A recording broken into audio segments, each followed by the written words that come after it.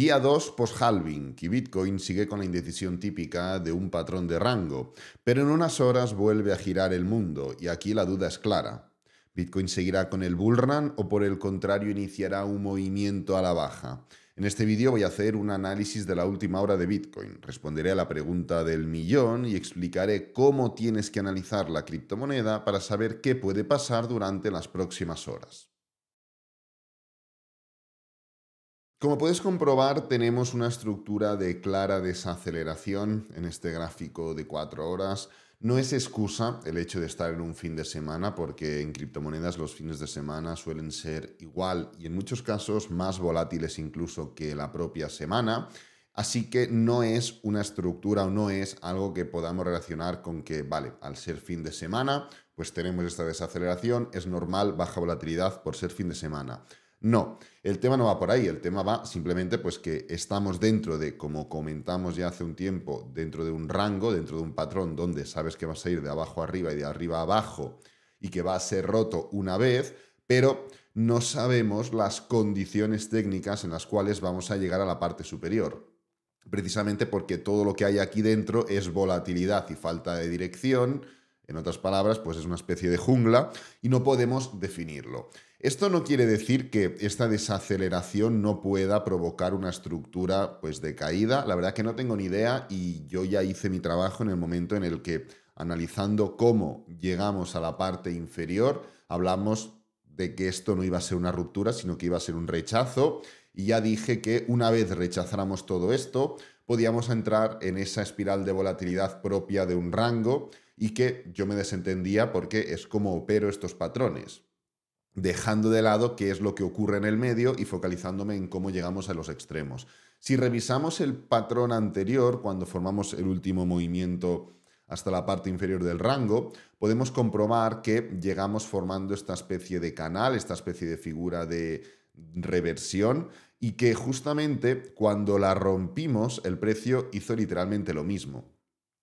Formó esta desaceleración, este giro, parecía que iniciaba una tendencia a la baja, pero cuando volvíamos a llegar a la parte inferior volvió a desacelerar e inició un movimiento de giro contrario. Giro que tampoco fue limpio, porque nos levantamos, hicimos un pequeño pullback, nos volvimos a levantar, volvimos a frenar en niveles de máximos, medias móviles, etcétera, etcétera. De repente subimos con fuerza, cuando parecía que nos íbamos para abajo volvió a subir y así sucesivamente, ¿no? En fin, la volatilidad propia de un rango. Con esto me refiero a que podemos esperar que estas estructuras de, por ejemplo, desaceleración terminen en lo que, pues, cuando hay una desaceleración suele haber un giro, ¿no?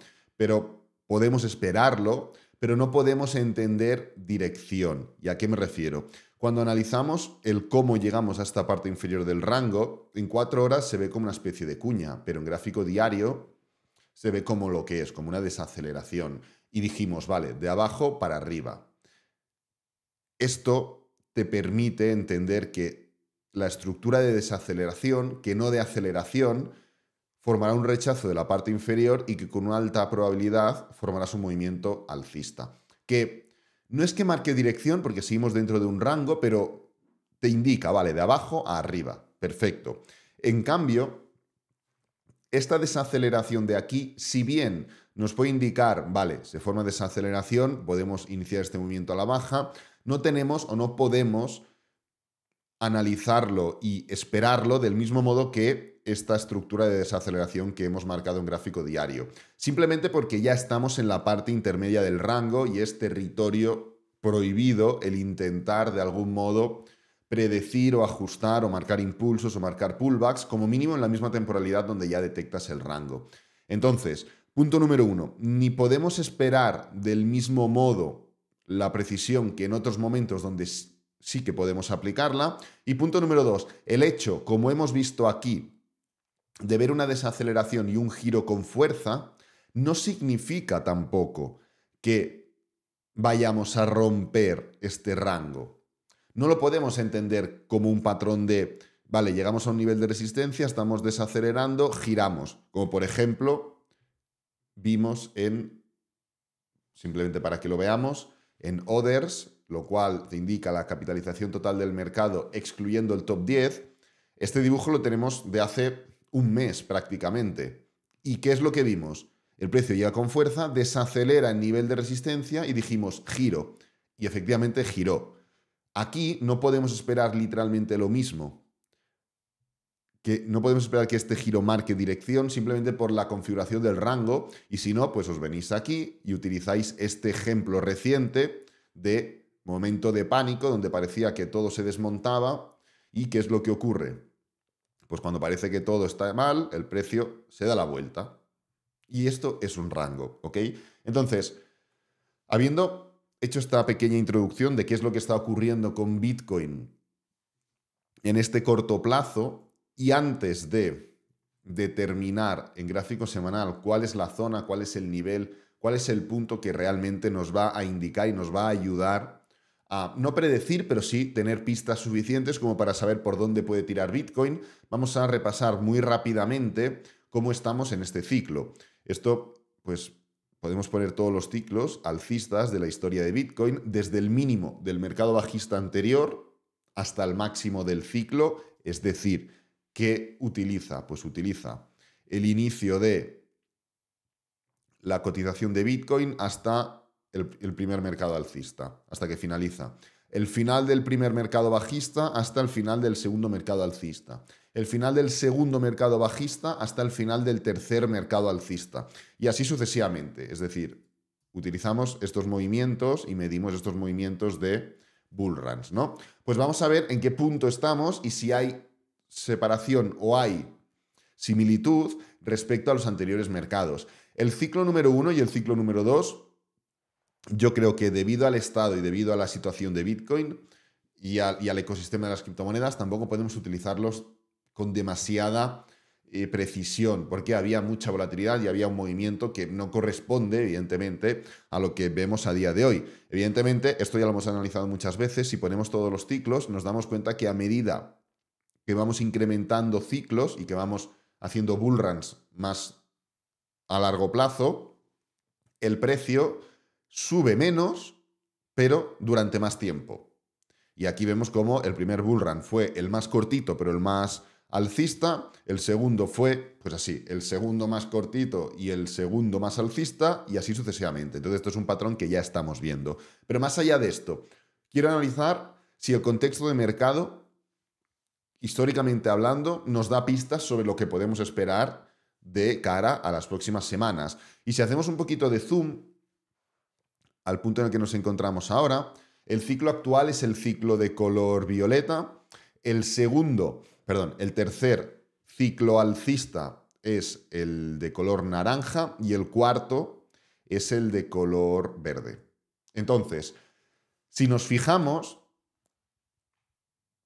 en los anteriores ciclos alcistas, ahora mismo estamos en un punto donde, quitando un momento el actual, históricamente hemos tenido esos movimientos correctivos. No correctivos de caída, sino correctivos horizontales y, nos podemos, y lo podemos verlo porque, por ejemplo, en el día 510 del ciclo alcista número 4, el anterior bullrun, después de lo que vivimos en 2020, a, a principios de 2020, el precio se recupera, iniciamos un máximo y el precio no es capaz de romper este máximo desde el día 510 hasta el día 590. Es decir, se está 80 días, prácticamente tres meses, un trimestre, formando ese movimiento horizontal.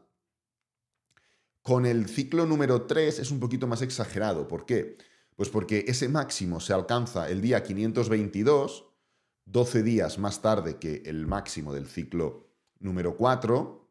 Estamos con la línea de color naranja y no rompemos con claridad ese máximo, manteniéndonos en una zona correctiva horizontal hasta el día 679. De 522 a 679. 150, 145 días más o menos de movimiento horizontal. Luego ya se continúa con esa tendencia alcista. Y si ponemos encima de la mesa el ciclo actual, nos daremos cuenta que el máximo ha sido alcanzado el día 488 y ahora estamos en el día 527, unos 30 días llevamos ya dentro de esta estructura horizontal. ¿Qué podemos ver?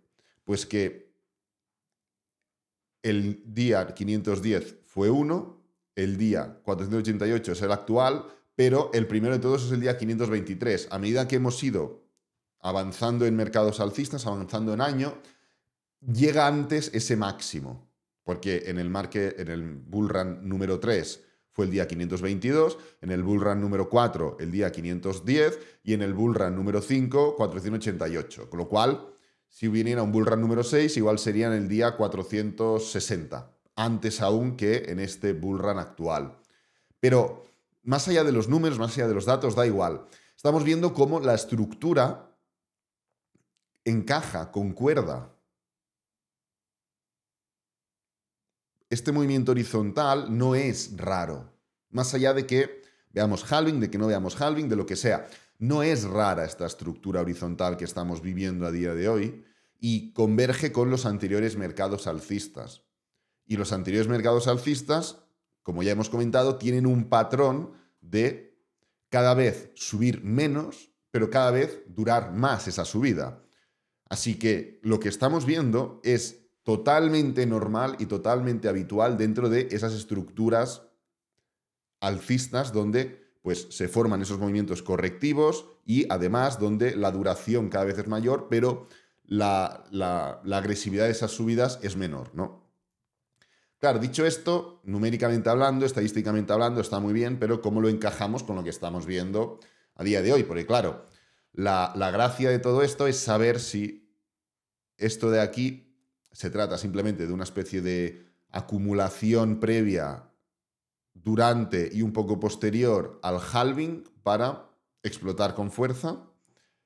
Si esto se trata de un pequeño movimiento correctivo o la antesala a un movimiento correctivo para hacer un pullback y continuar, o si nos podemos complicar la vida realmente en este punto, en esta zona, y como ya hemos comentado en otras ocasiones, hacer un patrón muy similar al patrón del oro, en los momentos en los que hemos intentado romper este nivel de los 2000 que se encalló. Esto fue, o esto sería, el máximo de Bitcoin del mercado alcista 2021. Esto sería el segundo máximo. Esto sería el punto actual. Esta zona. Evidentemente, esto ya es una resistencia a la que hay dos toques. Necesitas solo dos. En el oro lo fue así y rechazamos esa estructura. Y en Bitcoin no sabemos, pero de momento estamos ya dentro de esa especie de desaceleración. Y antes de analizarlo en Bitcoin, vamos a poner encima de la mesa en el oro, a ver cómo, se, cómo transcurrió todo, técnicamente hablando, el punto y la zona clave en la que nos tenemos que focalizar ahora. Y es la media móvil exponencial de 8 sesiones en gráfico semanal.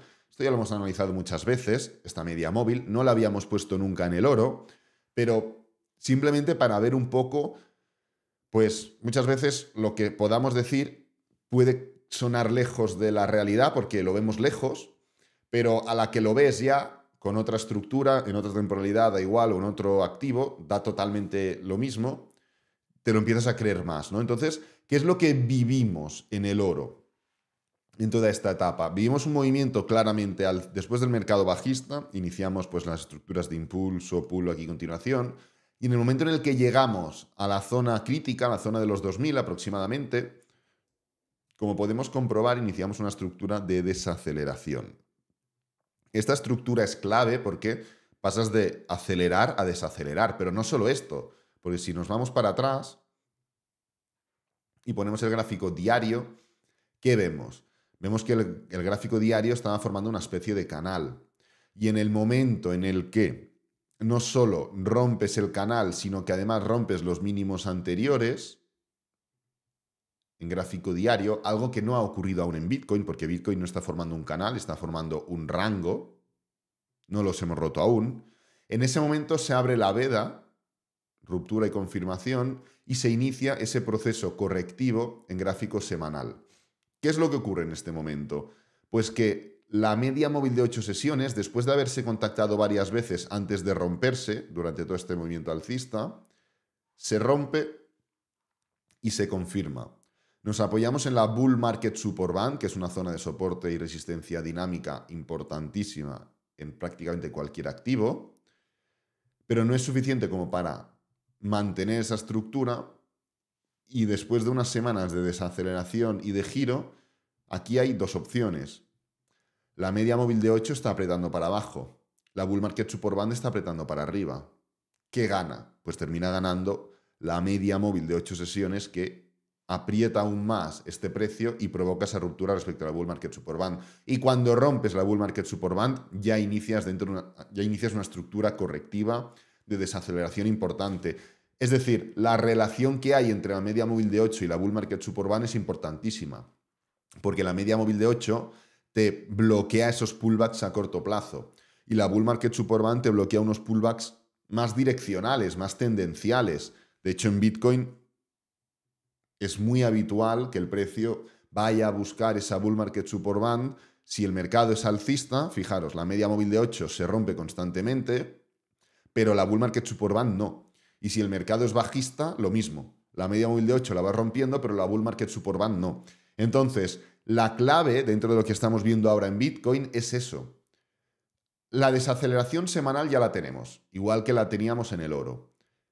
En gráfico diario, esa desaceleración es un patrón de rango horizontal. ¿Qué nos interesa? El mínimo. Estar pendientes del mínimo. Estamos ya coqueteando bastante con la media móvil de 8, pero no hemos formado ninguna estructura bajista en diario. Lo primero que habrá es el cambio de dirección en gráfico diario. Hasta que no veamos eso, no podemos pasar a pensar que el gráfico semanal va a alterarse también. No podemos hacerlo. Cuando empecemos a ver esa ruptura, ese cierre y esa confirmación del soporte diario, del nivel de aproximadamente los 60.000, 61.000, eh, aprox, esa es la zona importante en gráfico diario, podremos decir, vale, además de eso, estamos ya en la zona de la media móvil de 8 exponencial en gráfico semanal. Si el gráfico diario se altera, el gráfico semanal cerrará por debajo. Y esto nos enviará directamente a la Bull Market Support Band, porque es lo siguiente que hay, porque así se comporta el precio. Tanto en el mercado alcista, como estamos viendo, como también en el mercado bajista. Primero va un nivel, se rompe la de 8, va a la Bull Market Support Band. Y así sucesivamente. Se rompe la de 8, va a la bull market support band, hasta que se rompen las dos y se cambia la tendencia. Pues esto es lo que va a dictaminar las próximas semanas, empezando por lo que hemos comentado y lo que ya llevamos comentando tiempo, que es hasta que no haya un cambio de estructura en diario, no habrá nada en gráfico semanal. Estuvimos muy cerca a finales del año 2023, aquí en diciembre del año 2023, principios del 24, de formar ese cambio. Y cuando rompimos, falló el precio y continuó para arriba. ¿Qué vimos en gráfico semanal? Un intento de ruptura de la media móvil de 8 y para arriba. No hubo esa alteración. Con lo cual, aquí no ha pasado nada. Entonces, lo primero y lo más importante es entender los niveles. Bueno, lo primero y lo más importante es entender el contexto de resistencia y desaceleración semanal. Lo segundo es entender los niveles en los que tenemos que estar focalizados. en semanal, la media móvil de 8 y la bull market support la interrelación que tiene entre ellos, y en diario el mínimo anterior que sustenta el rango. Y en último lugar, entender que esas rupturas en gráfico diario generarán una alteración importante que romperá y confirmará la ruptura por debajo de la bull market support band, o sea, de la media móvil de 8, y esto nos enviará directamente a la bull market support band. Y volvemos a la pregunta inicial. ¿Esto es un simple movimiento correctivo pre, durante y post-halving para seguir subiendo? Si el gráfico diario aguanta, sí. Esto es un movimiento en forma, un movimiento que significa la antesala a un pullback para seguir subiendo. Si hay desajuste en gráfico diario, pero mantenemos la bull market support band, sí. O por el contrario, esto es una estructura similar a la del oro y nos vamos a complicar la vida tal y como hicimos en el año 2019 antes de lo que vivimos en el año 2020. Si no hay un aguante y la bull market support band no mantiene el precio, sí. Entonces, esta es la situación actual que estamos viviendo, esto es lo que nos tenemos que focalizar y estas son las pautas y condiciones que tenemos que tener en cuenta para analizar correctamente lo que puede ocurrir o lo que no puede ocurrir. Pero todo parte, como podéis comprobar, de que ese gráfico diario mantenga esa zona de soporte inferior en el rango entre 60 y 61 mil dólares por Bitcoin y aquí no haya pasado nada. Voy a dejar este vídeo por aquí, espero que te haya gustado, que te haya servido, que es lo importante. Si es así, dale me gusta, suscríbete, compártelo con amigos, con la familia y nos vemos en el próximo vídeo. Adiós.